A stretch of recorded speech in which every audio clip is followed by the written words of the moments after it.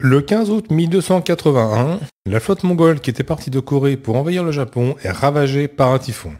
Les quelques bateaux qui réussissent à débarquer sont trop peu nombreux pour maintenir l'assaut et les forces japonaises les repoussent.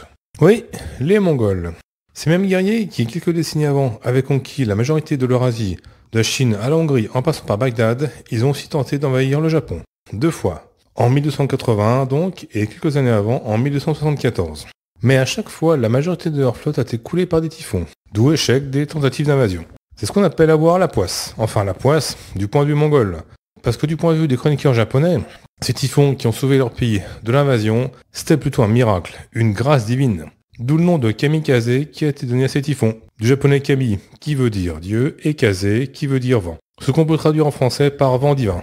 Mais dites, kamikaze, kamikaze, ça ne vous dit rien? Si, c'est ce nom qui a été donné au pilote japonais, d'avion suicide à la fin de la Seconde Guerre mondiale.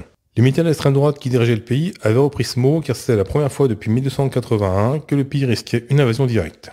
Ces pilotes d'avions suicide n'étaient d'ailleurs pas du tout des fanatiques représentatifs d'un soi-disant esprit samouraï traditionnel. C'était souvent des très jeunes appelés à qui on ne donnait pas le choix entre la mission suicide ou l'exécution pour insoumission. Mais bon, ça, je vous en parlerai dans un prochain épisode. À bientôt